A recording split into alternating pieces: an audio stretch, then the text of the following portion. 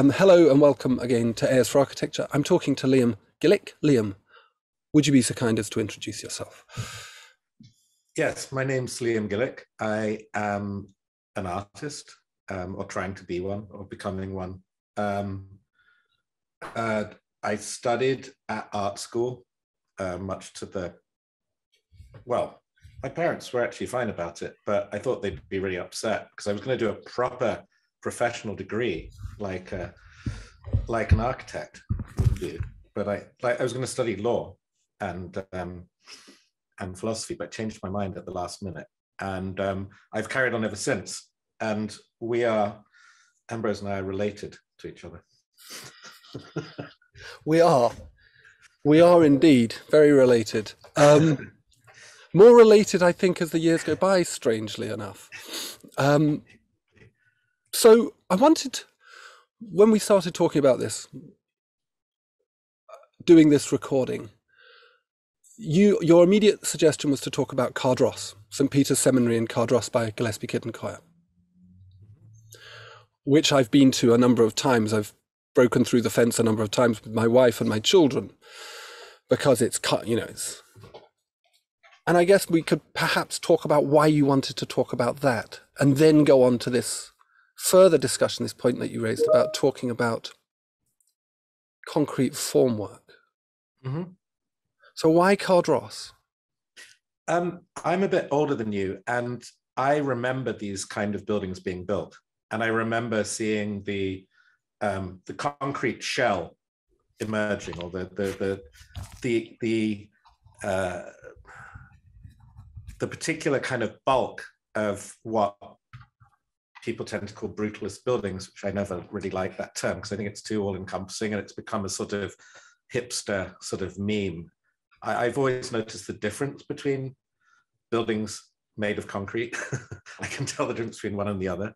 And often um, it was very clear quite early on that some of these sites um, were strangely vulnerable. There's a kind of poignant vulnerability about them, even close to the time of their first construction, due to things I'm not sure. Maybe you might be able to work it out. But particularly that site, um, it, it, it actually gives me this sort of visceral yearning or something. Like when I look at the old footage of the um, of the students, I guess we could call them, um, the seminarians, um, going about their business and using it. There's something.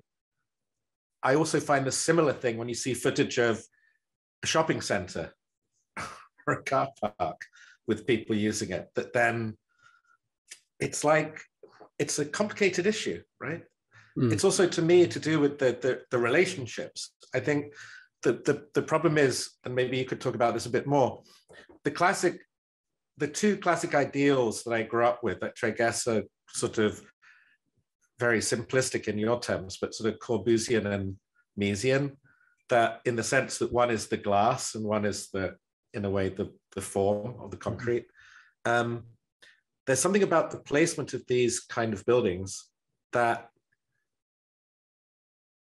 for me it's something to do with where the concrete and the wood meet or where the concrete and the glass meet or where the the form and the and the landscape meet this is where i find the kind of stupidity of the whole thing in a way, or the lumpen, literally lumpenness, but also the sort of um, something about a failed enterprise in a way that's incredibly moving. You know, like when you encounter a big ship mm. or a big old station that's mm. been. It's a bit more complicated than that, though. It's, it's interesting. It, it's interesting that you've talked specifically. You've compared it specifically to machines, and my interpretation of that movement in architecture, that mass concrete movement, which I think you're right in saying brutalism is a is a really unfortunate hipster meme. Um, but you've re- you've you've reflected on it in relation to machines or buildings for machines. So there's your Corbusier there. so you're a Corbusian, really. Um, whereas I always compared them to, to, to they always strike me as being very much to do with nature. um, their volume and their scale and their their they have this monolithic quality about them, which I find even where I find them inappropriate, I find them extremely moving in that way. Yeah, maybe and, that's what I meant, and I just couldn't put it in in the right words because I keep coming down to this sort of um, human issue, mm. which of course was what was used constantly to attack a building like that, that it was inhuman or it was cold or it was indifferent to, to uh, subjectivity or the human subject. And that's of course why I find it interesting considering the, the, the, the um, I never know how to pronounce it correctly, the, the, the building in Scotland. Um, that actually, because it's a site of, in a sense, discipline or of learning or of a certain mm. kind of set of procedures and rituals and rehearsal and practice, daily practice, right? Yeah. It, it lends it even more of a of a of a particular sort of um, I find it moving. And maybe it's similar to what you're talking about. I'm just looking at it from the other perspective. Yeah.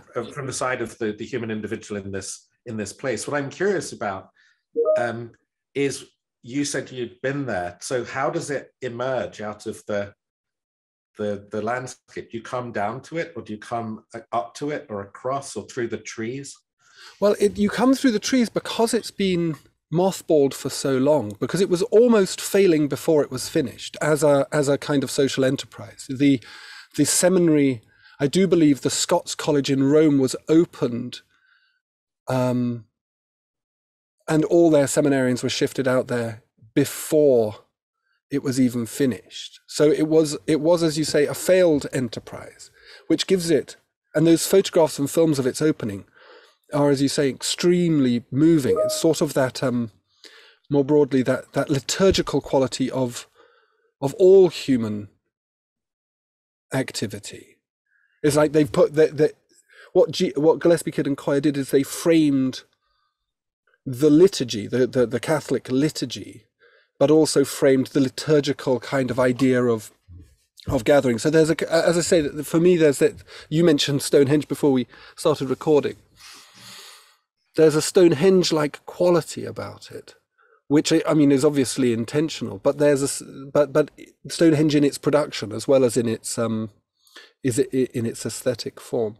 So I, yeah, I you you come through the trees and then you're confronted by this enormous, because it's all overgrown, you're confronted by this tall, spiked metal, very, very durable fence. And um, and then you if you walk around the boundary so i took my little tiny children in there i think i had three children at the time and uh, the youngest was probably in a sling and we found a gap in the frame in the and we squeezed through and then the building is shattered absolutely shattered but with this it's like a leviathan, this skeleton that sat there.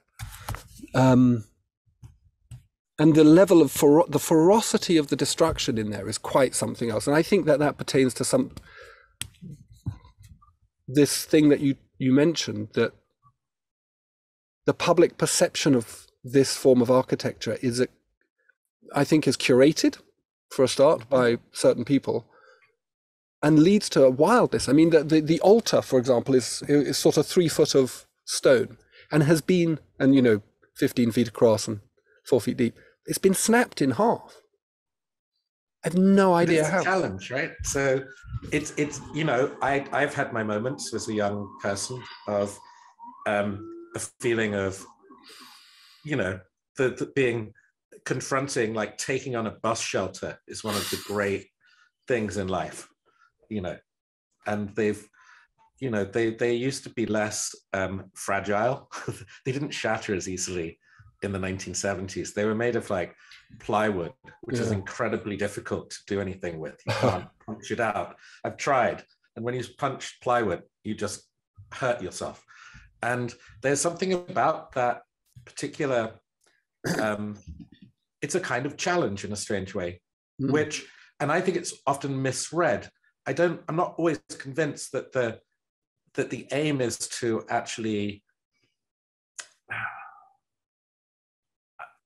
you know, it's difficult talking about vandalism and breaking things? It's a very hard, I think it's a rather complicated question. I don't think it's ever really simple.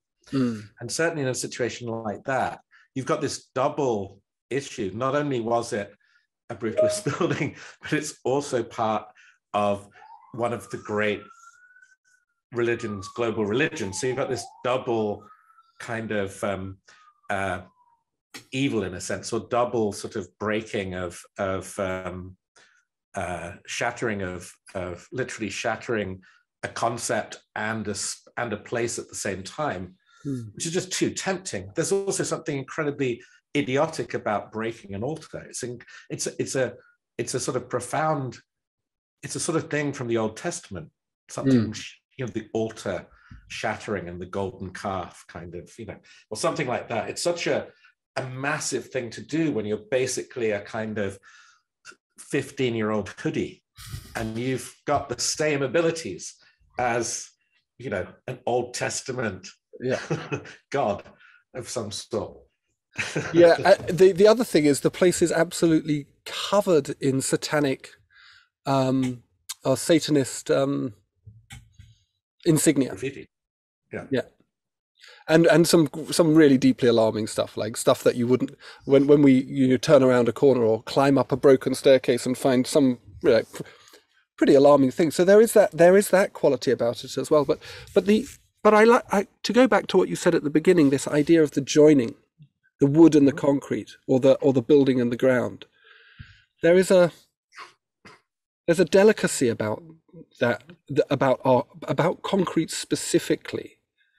It's uh it creates this juxtaposition almost inevitably which i've i find um well it's very architectural but it's very um it's very aesthetic concrete in a, in a peculiar kind of way. Yeah but i think i know why because it, it, it, even if you don't know anything about building anything you're pretty unless you're a total idiot you know that if you build something out of concrete if you decide to change where the door is or the window it can be done but it's a major pain in the ass Mhm. So you, there's something about the fact that those things are kind of you're stuck with them where they are, Mm.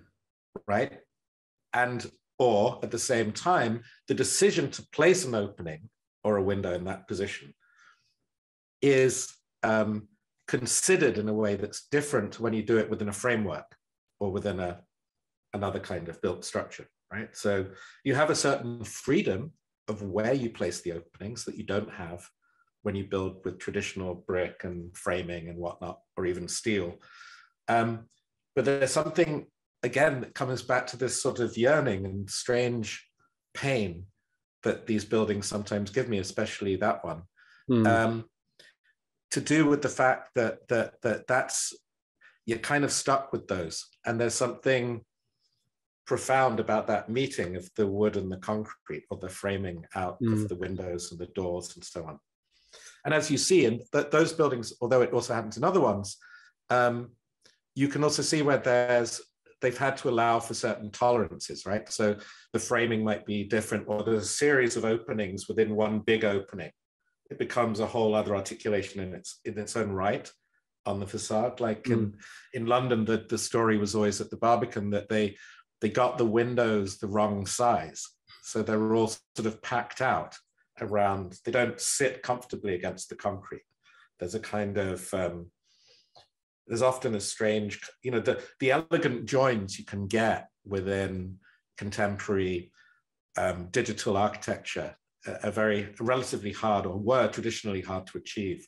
Mm. Certainly in the 60s and 70s, when these buildings are fairly pretty much built by hand, you know, a lot of them. Yeah, the um the word you, you use the word discipline, and I think that's quite an interesting one. These disciplinary spaces, and I think it's interesting that the the way that you're talking about the precision required in in using concrete is extremely disciplinary. You, you know, you use wood and you use bricks, and a man with a chisel and a hammer can chop it up and and amend. You cast a building, and that's it. It's cast. So there's a kind of precision in the way that the architect has to operate at that point, and then the builder has to be required to operate, which I think is quite, which is quite interesting. The um, Yeah, but there's also kind of a shame about it in a strange way. Like in, in Northeast America, where most of the vernacular building is wood, um, almost all the houses have concrete basements, new ones, and even quite old ones, certainly for the last 30 or 40 years. And I always ask people, why don't you just keep going? Mm. And their reply, the, the contractors I spoke to always said, well, we don't feel we're as good. We, we, we don't really do concrete that you'd want to see. Mm. Things like that. So there's, that's, but that's another question we can come to later on. Yeah, I um, but I also like this idea that you know they, the Catholic Church take on um, Gillespie, Kidd, and Coia, who are early, earlier in the 20th century through Jack Coia. But the actual two architects that they use to produce this concrete architecture are um, one's Jewish, Isi Metzstein, and the other's an atheist. And I think that's that's always fascinated me as well. That they were very good. And my favourite church of theirs is St Patrick's Kilsyth, which is an extraordinarily handsome um, sort of piece of nature. It's a force of nature. It's like a volcanic plug that's come out of the ground. Absolutely, and with this beautiful sculptural roof and these deep, deep, thick walls. Is that but, the one that had the tower? No, that's that's the more famous um, St Bride's in East Kilbride. Right, right. Which is also amazing, but but towerless, as you say. Um, but I actually think that, that the, the way that the roof sits on um, St, um, St um, Peter's not St. Peter's, um, St. Patrick's, um, is, is, is quite extraordinary. It's virtuosic. But the way that the, the church adopts these two guys who aren't within the club, so to speak, and in a way gets them to create things that talks about the absolutism of their own position. So they take on two, two, two uh, architects to produce an absolutist architecture. Yeah. And they and they do it better than almost better than anybody, almost better than Corbusier himself. It's quite amazing. It's a lovely thing. But why so so you then asked me suggested to me that we should talk about casting. Mm-hmm. The casting of concrete. Yeah. And I raised this question, it's sort of your work is not concretey. It's no, very, it's very much the opposite of concrete. You know, if you were Rachel Whiteread, would say, well, that's obvious, but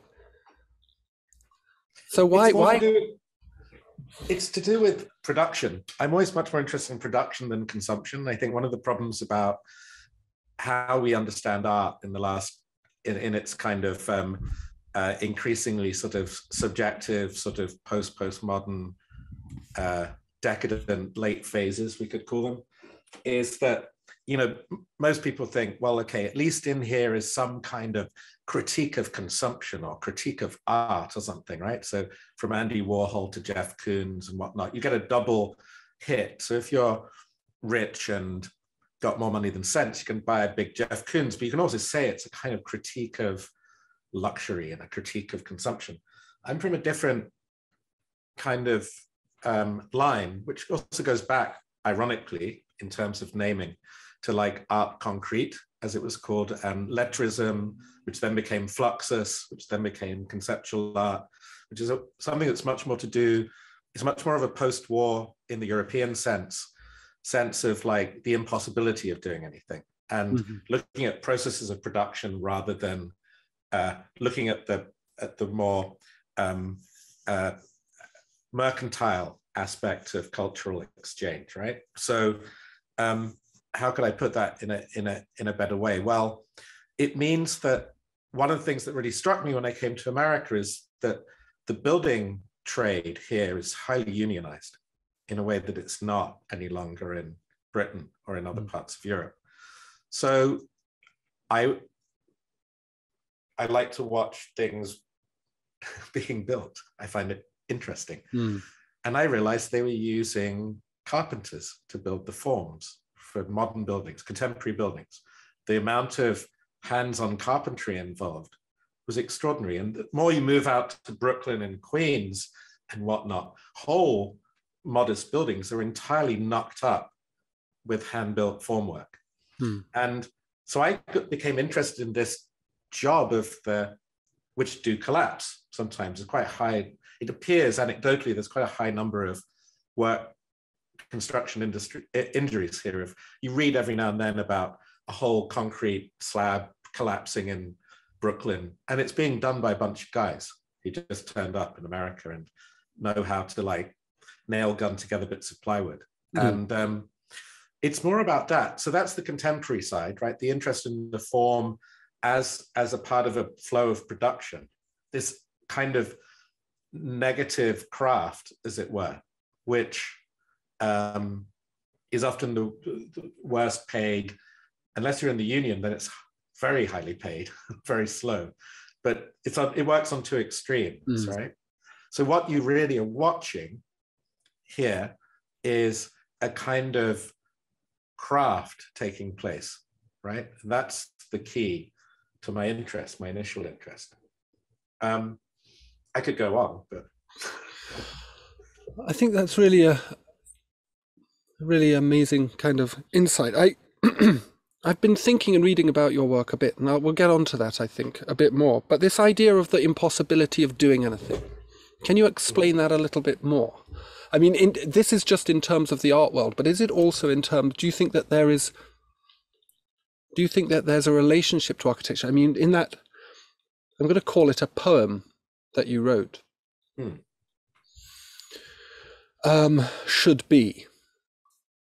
You say there should be an increasing skepticism about architecture as an independent discipline. So I'm guessing that if there is an impossibility of doing anything in art, it's also true of architecture.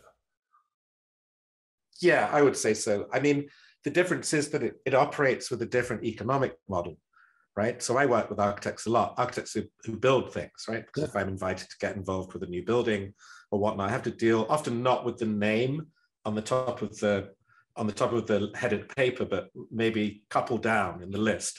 The actual architect who does all the work. Yeah. And um, so coming back to what you're saying, it means that um, I'm very aware that their economy is very different to mine. Mm-hmm. I will tend at one point, if things go well, I will get one lump of money that relates to the exchange of one thing that adorns or decorates or sits alongside this building. They're getting paid, they're billing people um, for various tasks and various hours. So I become very, um, what happens is, is I'll often meet and, and work alongside an architect where we both find some weird space slightly outside of these two extremes of how we exist, right? Another kind of discussion. It seems odd to talk about how you get paid or, or and so on, but it so affects how you do things. Like the presentation as an idea is something that's so painful for me and so difficult, but it's so crucial to a contemporary um, uh, you know active architect who's building, right? The, the presentation of the thing, the exchange with the client, and so on. The whole, all of these power relationships are almost inverse of what mine would be normally. In, a, in the same situation where the architect might have to go through a number of blocks or barriers before getting to the person actually paying the bills at the end. I, unless they're doing a private house or a very special, or they're very high level kind of architect. Um, I'm often only talking to the very highest person in the pyramid because mm. they feel grand. They want to talk to an artist, right? So this seems a very roundabout way of talking about things. Um, to get back to this point about architecture, it doesn't take long in almost any project for it to become very clear where architects are dissatisfied with the limits of what they can do and where the, the the, the, the uh, hierarchy of architecture and where the, the payment, um, the billing process, the client relationships, all of these things are very tricky, mm. right? But I'm also aware on the other side that when you get to a kind of um, uh, what used to be called paper architecture, when you get to a kind of theoretical architecture, and that the like I just went to the architecture biennale in Venice, right? The claims, therefore, that are being made that are not about knocking up a building in Seoul or in Hemel Hempstead are now so far off that it's it's almost ridiculous that you know they're it, it's a kind of another another discourse entirely. It barely relates to actually doing anything. Mm. So what am I saying? I'm saying it's more it's it's more of a general reminder, right? More than a it should be, not there has to be. It's mm-hmm. not a it's like an anti-manifesto written by a, a relativistic postmodernist in a way, like and telling the truth instead of pretending to be from an earlier utopian moment. But I think it's a truth that relativism is a sort of truth that's that's appropriate for now, where we do have these incredibly dispersed uh, uh, supply chains, where we have the, where the money for something is is coming from nowhere near where it's being done, where you know uh, cultural and intellectual capital is incredibly um, mutable and complex and imploded and whatnot. So it's more like that. That's what I'm talking about. It, it's not, I wouldn't suggest, for example, you know, people would then say, well, why not, why don't you set up an interdisciplinary school of whatever? But I'm not even sure you can do that now effectively. Um, I, I, I would tend I would tend to uh, reluctantly I would tend to agree with you. I've been doing what what we know because interdisciplinary is so last year, Liam. It's uh, it's all about transdis- transdisciplinarity now. Of course. Um, it's all about transdisciplinarity, and the, and and actually, what I'm discovering in doing that is that the methodological um, journey is the research. So it's like it's almost as you, you called it, you're the only other person I've ever heard call it post postmodern. I don't read very much, so maybe it's a general term, but it's almost post postmodern in that you end up thinking predominant. So you go and do transdisciplinary research, which is ostensibly to do with social justice. And actually, what you write about is yourself doing transdisciplinary research and the way yes, that it was different. Yeah, I think I know why. Because that Dave, a guy called Dave Beech, wrote an incredibly big and very diff, laborious book to read called Art and Value. And he tried to actually write about um, uh, production rather than mm-hmm. consumption. And it gets very complicated, but it's a really great book. It's really about economics. And um, yeah, he's really talking about the victory of what some people call Western Marxism, which is basically Frankfurt School mm-hmm. Marxism and Freudianism, which basically it's very hard. The classic postmodern theorists, the French ones mainly, were basically communists and mm. quite, they were writing postmodern theory in order to find new ways to extend the life of a kind of communist Marxist practice, an actual way of life. And mm make it work. Like it was an, an, attempt to understand the way the way um, capitalism was mutating, right, with with new flows of information, the way in, because of technology developing in a different speed to the way analysis of technology develops, right? So mm. they're trying to understand new forms of communication, new forms of media. They're trying to come up with an answer to that that can still mean you end up with a kind of Marxist life and a hmm. Marxist mm. and communist way and the Italians do it in a very particular way. They come up with this operaist idea, looking at labor and the withdrawal of labor as an idea. The thing is, as this kind of has gone on, you know, I was still alive. These people are all still alive and still writing when I was a student, like Lyotard and Deleuze and all these people, Baudrillard.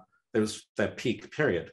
Um, basically, Western Marxism and Freudianism is one, which is much more about taste, manners, pseudo ethics, um, individual relationships, um, identity. These are all fascinating and all important things, right? But they lack this kind of, um, let's say, let's not say political, but say ideological underpinning that's very clear, that's very like straightforward. Mm. You know what I mean? Um, yeah. And I'm not necessarily against it. You know, I, there's nothing more boring than listening to a, let's, with all due respect, like a, Alain Badiou on a bad day is not something you really want to sit through because it's so tortured and so difficult. But um, I think that we're living in very optimistic times to a certain extent and, and very exciting times to be a young person. Um, but it is also complicated when you then try and work out what should be done and yeah. what should be built and what is an ethic of postmodernism what mm. is the morality of contemporary architecture mm. it, it, becomes very should there even be one right or on you know these questions have been piled onto art and onto architecture in a way that historically speaking in my opinion there were other structures that were agonizing over these questions, right? Maybe religions, maybe yeah. um, political systems, right? If you look at the architecture biennale in Venice, it's really fascinating that the claims made for what the projects are about and what they can do are so enormous that no one, very few people, even in the 20th century, would have had the hubris to claim that their information room could actually do anything about Look, you know, migration, I, I, uh, climate change, climate emergency, and whatnot. It's really fascinating. I mean, I did. I so uh, in 2018, I I was um, the co-designer of the Scottish collateral project at the Architecture Biennale, essentially a pavilion. Uh, out in we we, uh, we that was the space that we could get, and it was it was great. But the claims we had to make, we made a giant timber play frame that was sort of referencing the uh, alleyways and the water and and it was great fun and it worked really well. Um, five and a half tons of timber and nine thousand screws, which I lifted with my own spare um, on a, on a diet of coffee, cigarettes, and prosecco. And uh, uh, but but we made these extraordinary. We had to make these extraordinary claims, particularly after the event. So there was a, a whole process two year process of post rationalization, which we could claim in a way was um, analysis. But really, as you say, was loading a very simple thing, which was very good. It was a great play frame. But we loaded it with, and, and I'm really good at this. This is what I, this is my favorite game with a kind of uh, morality, I suppose is the word, because I think I think we do have to come back to what the question of why art and architecture are having me having these demands made of them now. They were in the post-war period as well. They were, you know, architecture particularly was an ethical endeavor, and it's it retreated from that as ethics retreated from the public sphere. As far as I could, as I read it from a historical perspective in the um, in the Thatcher Reagan years, where there's a kind of retreat from. Oh yeah, and that's what the efficacy of. Like, this is what I was talking about at the beginning. When this is why I wanted to come into this through through concrete, as it were, because there's something very determined about the building of structures out of concrete on behalf of the people or the mm-hmm. congregation or the or the the, the whatever the, the the group um, which shows a like we're making this is going to be different. This is public. This is a kind of literally a concrete gesture of a new beginning, right? Mm. A new uh, post war beginning. And, you know, my friend who died yesterday was born in 1942, right? So these people are now dying, right? People born just before or during the Second World War in Europe. I'm being very Eurocentric in this case, um, but it's what I know, right? Um, uh, what happens in art and in architecture for quite a long time after that period is you have this problem of how can you proceed after this century or during this bloody, brutal century of incredibly efficient uh, mass murder mm. on every side in a way. And that affects everything um, that's being done. It even keeps going through to the 80s and through the beginning of Thatcher Reagan period. Because what happens there is you start to get the emergence of a new, new kind of art. I'm talking here about, you know, art. Let's we could call it advanced art, art where it's mainly for people who think about art a lot, right? You know, it's what what a specialized world it, it's like the study of the question of what is art is basically what contemporary art is like what could be art today which is again another kind of big moral or ethical demand that is kind of ludicrous. Um, uh, so where am I? Well, what's the point of all this? Um, it has probably that those tenuous threads, which also, also affect all of the postmodern writers and all of the uh, Deleuze's and Lacans and all your architectural theorists and even people like Reyner Banham and all this kind of stuff. That's all, it's kind of, it's hanging by a thread, that memory. Hmm. But it did affect what you think you're doing. Germany still have it. There's still a very strong um, kind of connection to the idea that anything you do in art other than demonstrate the failure of art is a kind of posturing delusion, right? So any kind of good community project, any kind of happy, sort of semi-serious, enlightening project is pointless because as in there's no poetry after Auschwitz, right? So hmm. there's mm. it's not possible. That still remains in Germany, but that's also connected to their history and art anyway. Um, sorry, I'm rambling. No, no, no, not at all. I, I, but it led me to another thing, an idea I wanted to kind of push back at you. So sometimes when I'm in, when you're dealing with actually what gets built, right, which is often rather pragmatic actually nowadays, right, in almost direct opposition to the rather grand claims on the other hand. Um, uh, I sometimes think we're in a kind of like a Baroque Dark Ages, you know, meaning that when you look at like an eighth century or seventh century church or something with I don't know what you call that. Is that the Dark Ages? Romanesque? No, what is that? The Dark Ages from 450 to 1450, isn't it? Those were the days. no inflation. You know, a beer was half a groat for 400 years.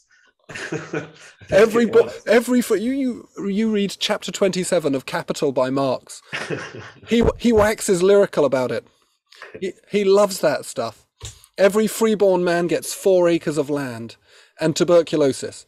Um, no, but it's something like, and the Baroque bit that's not visible right today is actually all that convoluted thinking mm. that surrounds everything. So you basically look at another system mm. built structure with the green roof which you can do a lot with because you can decorate the paneling and you can kind of glaze it in complicated ways.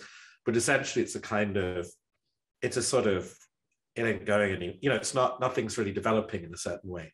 Um, or it's got a certain kind of asceticism about it, or a certain kind of, there's a hard to place good taste that's got something to do with modernism, but not really anything to do with it. Um, that meets kind of a, a, an invisible baroque wave of like conceptual thinking that is clearly not evidenced in the structure. And it's really fascinating. I find that's really that's an that's an amazingly interesting idea. I um i was thinking about that in relation to something else today about the the well i was i mean it, it comes back to this idea of formwork doesn't it uh, formwork being the ghost of as i put it in our email um the ghost architecture, the thing that sits around it. And we have this kind of, as we've moved into the world of words, which we, the world of words and world, world of images, but particularly words, um, that's where the detail is now. That's where the ornament is. And we leave the other bit behind. I mean, Venturi and Scott Brown's excellent book, Learning from Las Vegas. They talk about the decorated, the duck of the decorated shed, and we're in the world of the decorated shed, where the yeah the the, the rhetoric and the um, verbiage around it. So so you judge the building on whether the verbiage is quality verbiage, like you would look at a Baroque building and say, well, he got his scrolls and his triglyphs and metopes right, or didn't, and therefore it's shit Baroque yeah. I thought. well, I mean, yes. It sounds, you know, um, it's interesting because I read that book as a student and yeah. at art school. I read all these books and the what's it called? There's the Hitchcock International Modernism uh-huh. book, the Philip Johnson and Hitchcock, whatever it's called. The um, I read all these books because I had this weird yearning and I'm much more interested in what we call applied art than art art.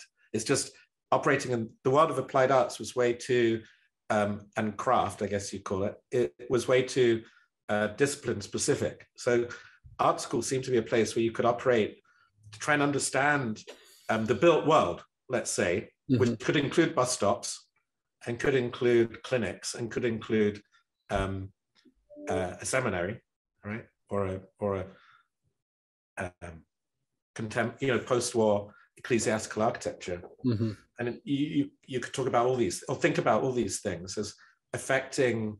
Um, I was really wanting to, I I wanted to see where is the, um, if it's unclear, if there's no common project, right? If there's no longer any ideology that will carry a, a 10 million Italians to vote communist or something, then what where what is what does affect us? Where where can you read the kind of the um, what are the sort of the semiotics of the built world? Mm. and i'm a sculptor essentially so i make objects. So i make them in relation to this strange um, the strange uh, shifts that happen and the deception that happens within language around what gets built and made in the world not just buildings but teaspoons and hi-fi systems and computers. And there's, I'm very influenced by an Italian filmmaker called Nanni Moretti, and he made a film called Caro Diario in the early 80s, early 90s maybe even. And um, he basically, his whole film career kind of, he starts as the good Italian Marxist and gradually kind of turns into a, a sobbing, middle-aged sort of sentimental Italian in throughout his movie career. Um, and his main subjects become the church and family and so on, having started with the revolution and why we're here. And the great middle point is Caro Diario, Dear Diary. And in that film, um, and with other films that he makes at that period, he's often picking people up on language. And he would be probably now closer to 70 than 60. So he's more than 10 years older than me. And that's the battleground for them. The, the idea that we battle about language is not new of course it's it's eternal, but but it's a very distinct battle that's going on during the 80s and the early 90s, even about the emergence of this new language of kind of slippery deception that mm. we might think of as Blairite or something, or the language of spin. This is happening. Um, he talks in an earlier film, which is is is set in a during a water polo game, where a, a guy has lost his memory, and during the during the water polo game, he attempts to remember who he is, and he realizes he's the communist mayor of a small town in Italy. But this kind of gradually comes out through the game, and it's actually a comedy, right? It's a great idea for a film. And during that film, it's which is a bit earlier, like in the 80s, he he distinctly upgrades people all the time because he's hearing this language for the first time because he's lost his memory. He's never yeah. heard people using this new um, language of development, projection, compromise, strategy. Um, these are the. This is the language I'm. I'm focusing on. Mm-hmm. The Dadaists were focusing on the sounds of the First World War and the sounds of people just being idiotic or the sounds of the asylum, right?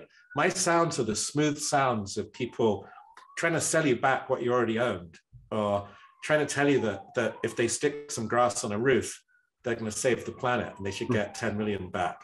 You know, that kind of thing. I'm interested in this kind of these coded languages. Yeah. That's um so, so your work exists both as a written form and would you say you see yourself your work as predominantly written? I mean, obviously you do a lot of making, and there's a lot of mm-hmm. you know there's a lot of inf- architecture. Put in that email to you that your work is architectural insofar as it's spatial and programmatic. Yes, and it relies on built structure in order to have any meaning. Like it's no good if you take it out. Oh, it does kind of work, but if you, it's not like some people we know, some people related to you, who you could take out something they've made and stick it in a in the woods, and it would still be good. Yeah mine's a bit it would just be weird. So I wanted to get to this point. I've been thinking about this. I've been, I've been pondering. this idea of your do is your are your sculptures are your artworks intended because because I, I'm getting from what you're saying and from what you've written that you see your your your role as an artist within if not actively and purpose of, uh, purposefully yourself but within a kind of within an evolution of a a, a, an ethical program. Like your your art your art is is fundamentally ethically orientated. Um, I don't want to um, use the word moral because it has connotations, but but but for example, this this uh, paper that you this essay that you wrote, we lived and thought like pigs, which is a fantastic essay, and I've got to find that book that it's about because it just sounds amazing. But you seem to be you seem to be kind of um, agitated by the way that the world particularly the art world, has kind of instrumentalized, utilized goodwill, creativity, young people. So, are you a justice orientated artist? Is that, is that maybe that's the simple question? And is that because of this kind of interest in the ethical evolution of art and architecture over the last 70, 80, 90 years?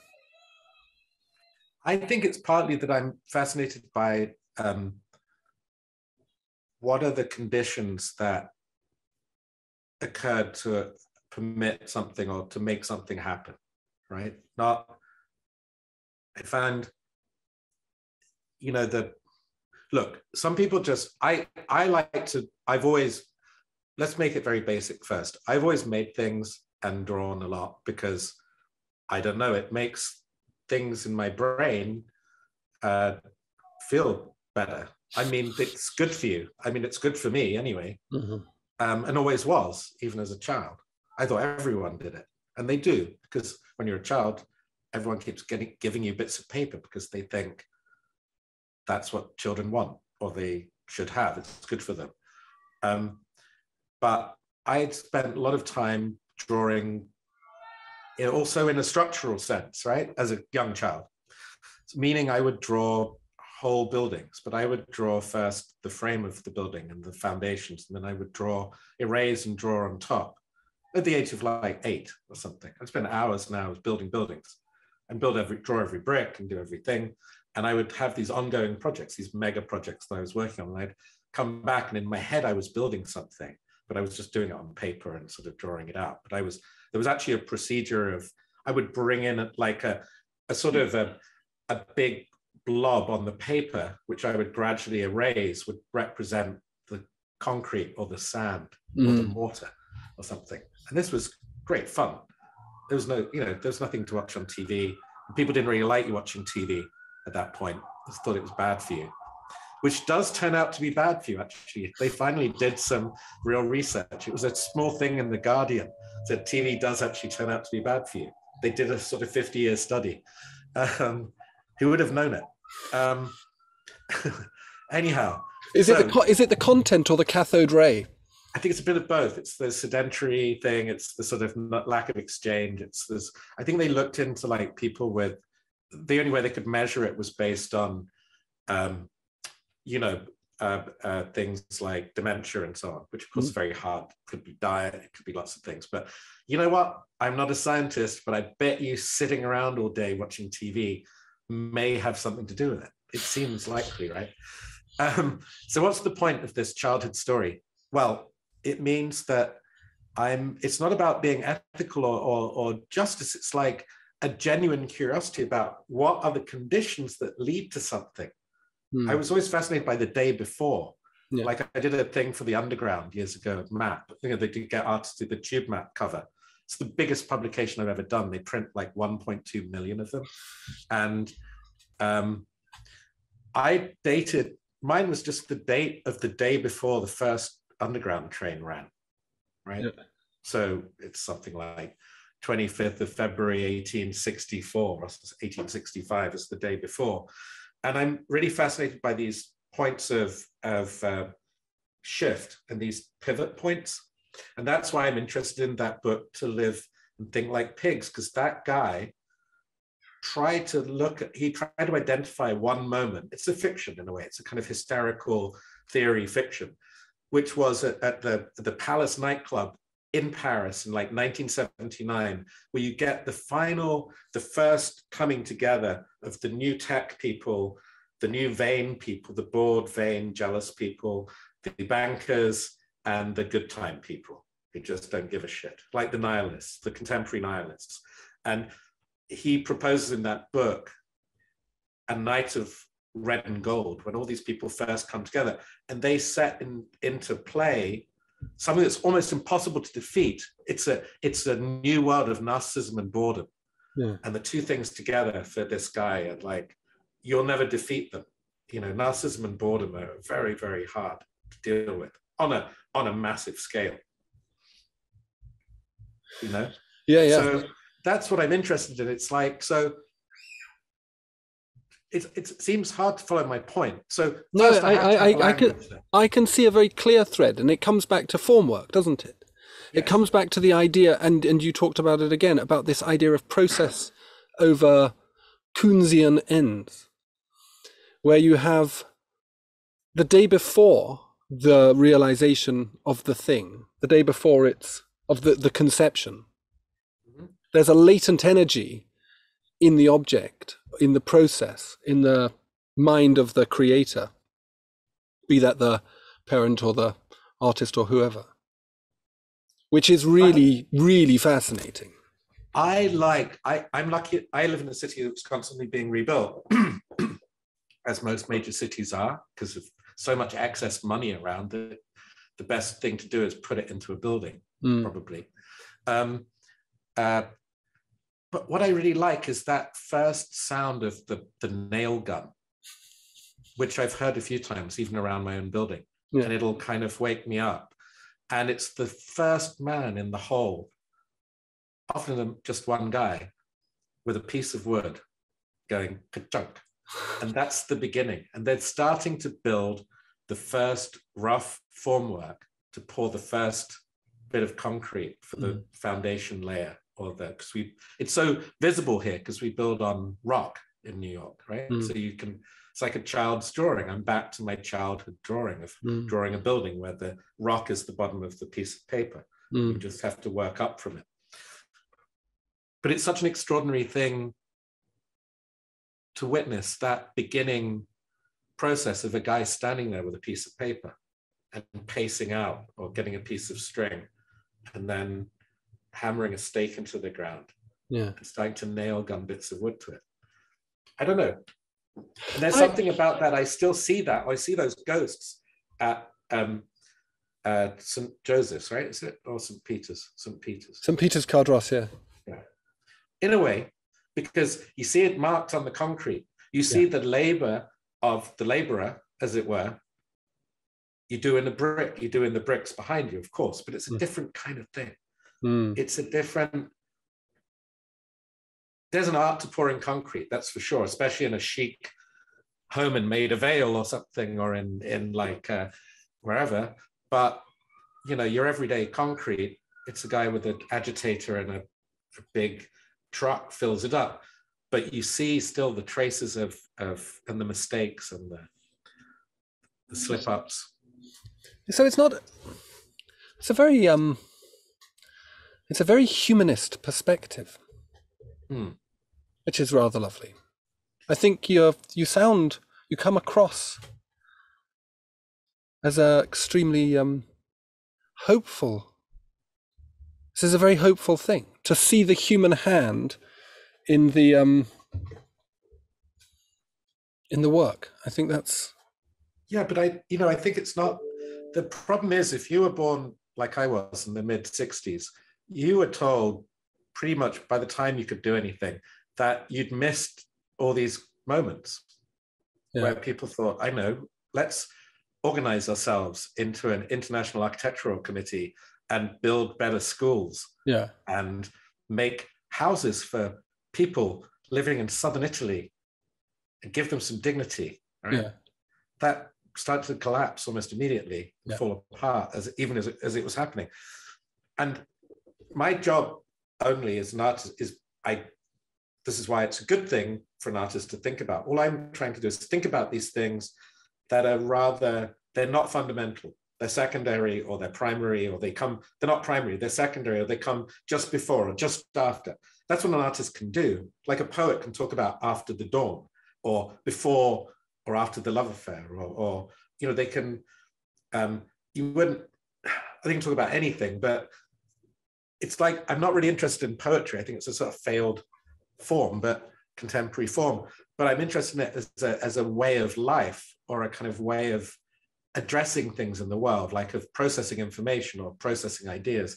I'm trying to contribute something which is connected to looking at connections that are uh, uh, normally, they're often hiding an ideological um, aspect that to point at it directly would not help you right? Mm-hmm. And therefore, I'm interested in, in, a guy called Simon Critchley who wrote a book called The Ethics of Deconstruction, where he tried to write about, you know, the ethics of deconstruction, which is almost impossible because by its nature, it ain't ethical. It's a, just a process of deconstruction.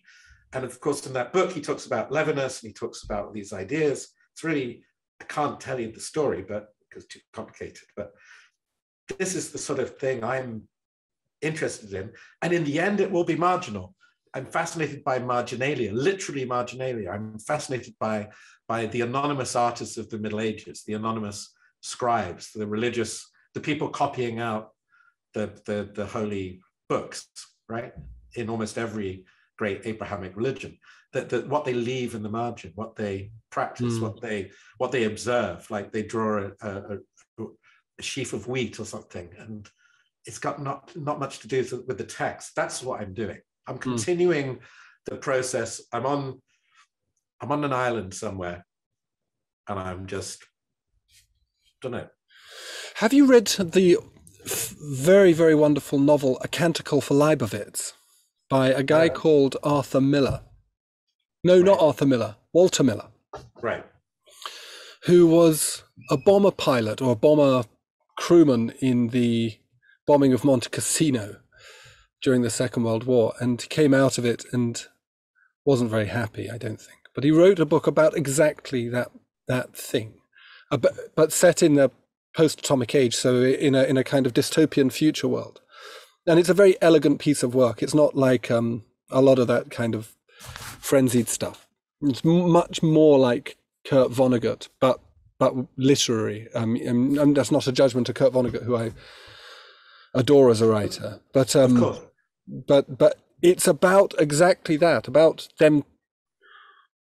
Yeah, looking at the looking at the um, the edges, the edges or the margins. Again, these junctions between mm-hmm. absolute things and fragmentary things. Um, so I felt guilty about this, right, as a student. I'm sure you have students that feel guilty as hell that they don't have a position, or that they don't have a, a vision, or they're not a genius, or they're not crazy. They're just they can kind of see certain things, but they can't quite get their fingers on what it is.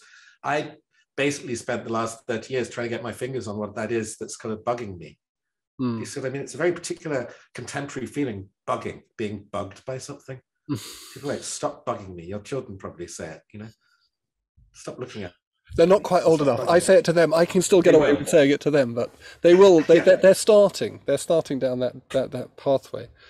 But but yes, it, yes, and I think Sorry, I interrupted you. No, not at all. I I thought we might talk.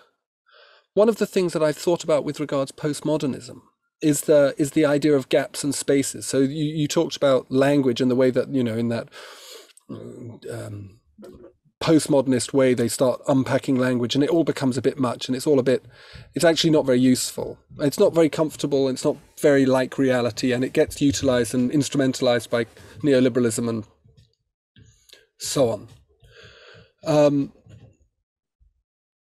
because it's vulnerable if you posit a complex theory based on things barely hanging together where you've written a whole book about the concept of like difference or um, but even giving it a new name. This is incredibly, it's like trying to build like a butterfly plane or something. It's like, it's hopeless. So it's incredibly vulnerable. To, to ensure a kind of postmodern analysis could sustain itself um, takes a lot of mental energy and effort, like way more than most people have got. And you saw it in architecture. You would you have all these stages in a way of postmodern architecture that keep collapsing in on themselves and becoming parodies and becoming, mm. you know, the blob appears and it seems to be the answer. And that kind of becomes a sort of a type and it becomes horrific. And then you've got, you know, all these other things happen. And that's all I'm saying really about postmodernism. I think I think it's a very fine set of ideas to try and deal with the fact that technology is accelerating away from its critical double, right? So you can be pretty reliant on the fact, that's why I mentioned it earlier, talking about industrial buildings or whatnot in relation to, to concrete architecture, that, that the critical potential of modernism, meaning as a consciousness, like how do we make better public housing in 1925 in Germany, the trajectory of modernity and the trajectory of the thing that's sort of critiquing it or answering back is quite one to one in a way. Now it's so fucking far apart, you have no idea. I had a great, I sometimes go to the GSD in Harvard to do their reviews because they bring in outsiders. And there was this great woman a few years ago. They were supposed to do something that re- reflected climate change and the climate emergency and doodah and all the normal things. And she basically built what looked like a kind of Korean, um, you know, low density apartment block. And I was like, what, what's that? And she's like, it's a kind of, it's a, it's housing. And I said, so what else have you? I found this woman fascinating. And every single project she did regardless of what the topic was supposed to be, she built the same kind of Singapore gated community. It was fantastic. It was a kind of, she was the most radical person there. Yeah, for sure. Um, but, but maybe she was the most postmodern. It's like, you know, um, yeah, yeah. But the, the, so this idea of yeah, because something that I've encountered or I've I've heard people talk about is Foucaultianism or Foucault and his because uh, your your your your sculptural installations, they they function to other the spaces that they're in. They critique the, the gallery. So again, we're going back to this idea of the room before the artwork was in there, and I guess mm-hmm. the, the the the the sculpture, the the artwork as something that you wrote about, you touched upon in the things that I read was the idea of actually questioning the nature of the exhibition itself. And so your work functions to, uh, in a way, to use that modern phrase, other the building itself and other the space of the building itself. Is there something in there about, uh, have you been, you know, Foucaultian idea of heterotopias? Is, the, is this at, at the heart of what you're kind of, of, of trying to, I suppose in a way, generate spaces that, ena- that enable us to adopt multiple identities, but also critique the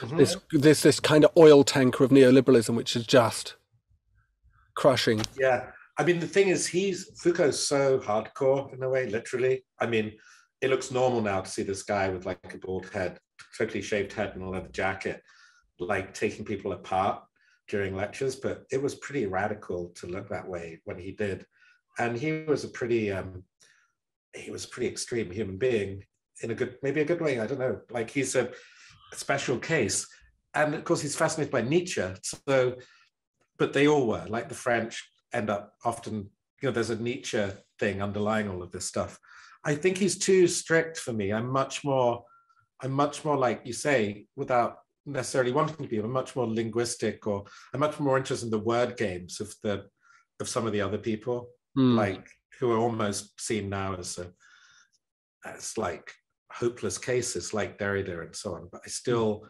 because I'm interested in, we share a kind of, I guess it's culturally, culturally Catholic or culturally Celtic or some mishmash of like Scottish, Irish Catholicism and literature. And I felt it growing up a lot. That use of language or the feeling of words can be can be played with or words can be um, I mean, a lot of people feel that, but I, you realize you grow up, not everyone feels like that. Right? No, that, that that's that's that to me a mystery as well.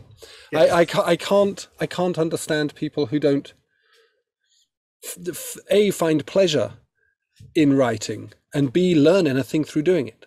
Yeah but when i was first being published i would use words that in i wasn't trying to be like james joyce because i hadn't really read it properly or but i already it's such a it's got nothing to do with us anyway. James joyce is part some fancy damn dublin world. We're like the people from the north and the you know we're more we're not nothing to do with Dublin literary people at all. I don't identify with them at all.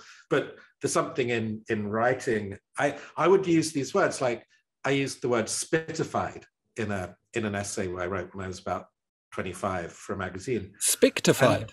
Spitified. Spitified. So they're like, what, what's spitified mean? And I'm like, well, it's the feeling of sort of self-loathing that is generated by the break between like the stated intentions of something and what's actually results. So if you look at something and they say it's about, um, I don't know, um, about neoliberal politics, but what you're actually seeing is kind of a half-assed painting. It, it creates a feeling of spitification, where you've kind of got a fragment between a series of fragments trying to be stuck together. So anyway, they rejected that because they're like, there's no such word. So then I tried to use other words like I liked misled as a as a verb, like like misled, as in misled someone into thinking a certain way, or it was a misling, it was a misling proposition. like the exhibition was misling, Yeah, which yeah. it means the condition of misleading on a on a kind of uh, fundamental level. Ontological level, yeah. No, we we uh, we the one of the most successful games we ever developed as as a family was the um made up word Scrabble because we were shite Oh. at Scrabble. yeah. But if you can make words up and then it's all about the negotiation of the word. Um, Yes. and, and the justification of the word. And it's actually a much, you know, Scrabble is as boring as hell. So it actually makes a boring game quite good. But I just wanted to finish on one thing because I think I've taken enough of your time. This, this thing that you wrote, there should be citizen artists. I suppose I've, we've already talked about that, but what, what does a citizen artist look like? Well, Are I- you a, are you a citizen no. artist? Yes, I have a really extreme position on this one. And this is why I should never run for office or ever be allowed to run anything at all. I think like art, and I probably would extend it in a sort of half-assed Bauhausy kind of way to building things. Like building things is kind of art too, in a way. Mhm. I don't think I'd have any dance. You couldn't do dance or anything like that. But building things generally and painting and drawing things could all be included. I think just should be compulsory, like national service. I think if every 18 year old had to do like like being in Israel, like join the I, you know, the IDF, yeah. yeah. Or or I don't know if they still do it in France. Or you can go and like, I don't know, clean fat burgers out of the sewage system with your bare hands, right? So you got a choice. A year of like foundation-y style art, but proper art, not like you can't just, you know, you can't pretend it's art. It's it's got to involve, it doesn't have to involve like learning amazing skills, but it certainly has to involve learning to look and to to take apart what you're seeing. Mm. Which for some people they can do that by drawing, some people they do it by making. It has to be about looking. You know, Mm. I went to a college that gets a bad rap for being goldsmiths that you know churned out a bunch of like um, of chances, um, wide boy artists who could try and talk their way into anything. What they actually did, these rather sincere teachers who were really from the 60s, is constantly try and teach us how to look and also meaning to look at our own work and Mm. see what we really have done. You know, we know that from our own families, right? That the ability to see what you've done is quite complicated. It comes, children feel it. You can see when they rip up their drawing in absolute fury, they can see clearly they've not done what they meant to do. Mm. But to sustain that ability through your life is quite difficult. To continue the ability to be able to to um, to look. Um, so I think, yeah, I would go further. I would like. I think it would change the world. I think it would be. I don't know how you'd enforce it, but that's the problem. It's like my redundant Marxism. It's like the problem is the application of the theory. It's Yeah. like the idea is great, but I would end up herding people into football stadiums, probably. Right? And on that bombshell, and breaking their fingers. You know, what are you going to do? It's not easy. I know it's really not that easy. Thank you ever so much, Liam. I've really enjoyed talking to you. I think that's really wonderful. Thank you.